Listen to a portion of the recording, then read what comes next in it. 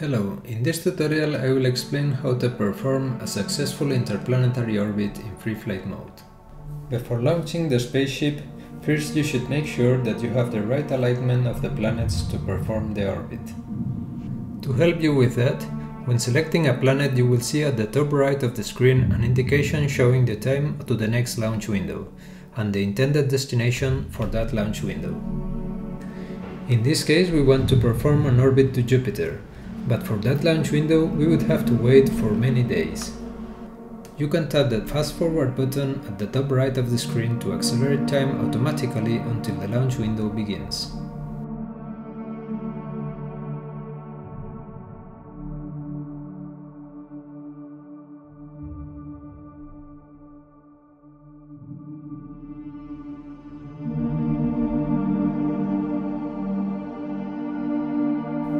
Now is the right time to launch the spaceship. You will notice that the launch window is intended from L2 to Jupiter, so you should spawn the spaceship at L2 to make the orbit easier. This button at the bottom right of the screen can be used to select the different Lagrange points of the planet. Every time you tap the Lagrange button, the camera will cycle through the different Lagrange points associated to the planet. Use it to select L2 and then you can spawn a spaceship at that position.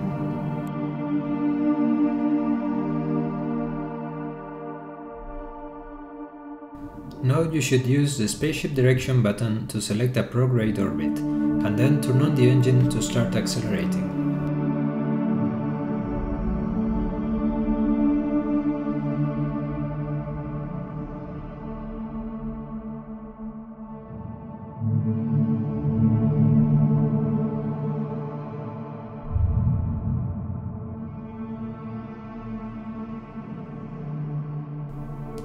In order to have a clear view of your orbit around the Sun, first you have to escape the Earth's gravitational sphere of influence. Accelerating to 2000 meters per second should be enough for that.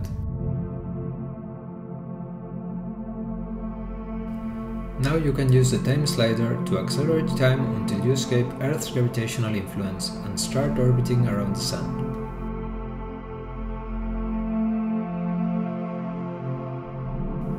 Zoom out to get a better view of your orbit.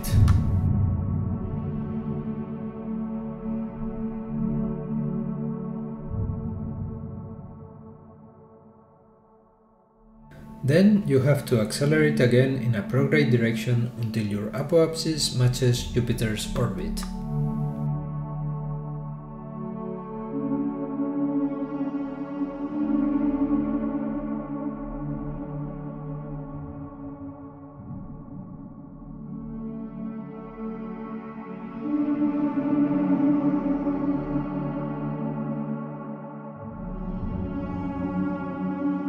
Your orbit should send you to a close approach to Jupiter.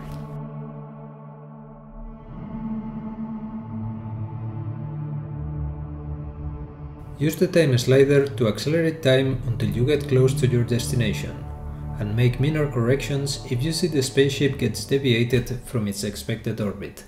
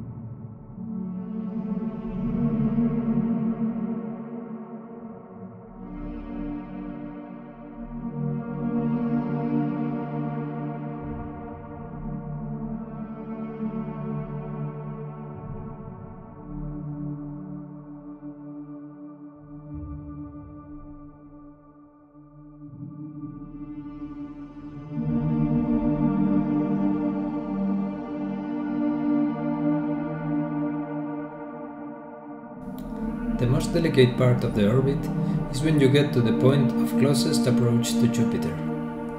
You may have to make some corrections to the orbit to make sure that you enter into Jupiter's gravitational sphere of influence.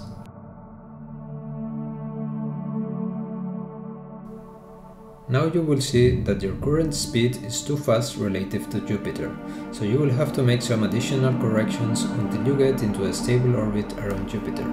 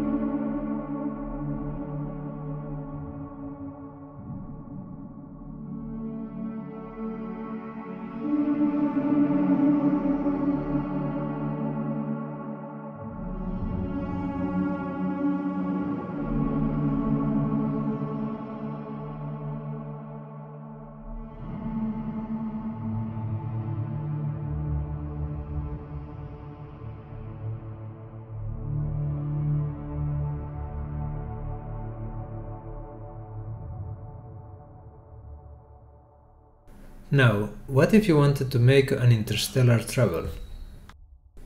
In order to do that, first select a suitable starting position, for example L2, and then select a spaceship capable of interstellar travel, for example Project Daedalus.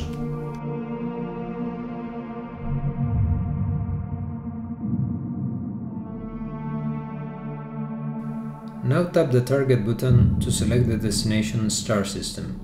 Then tap the spaceship direction button to select inward direction.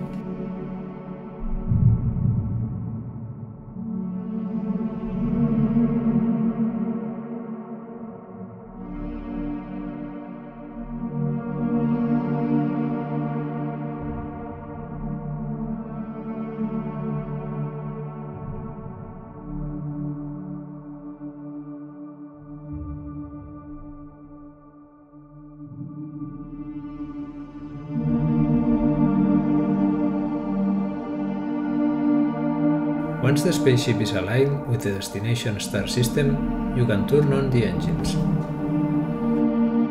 Unlike interplanetary orbits, interstellar travel requires huge amounts of delta V, so you will have to keep accelerating for a long amount of time. Just make sure you have enough fuel left to decelerate and maneuver when you reach your destination star system. This concludes this tutorial. Check the other tutorials for additional information.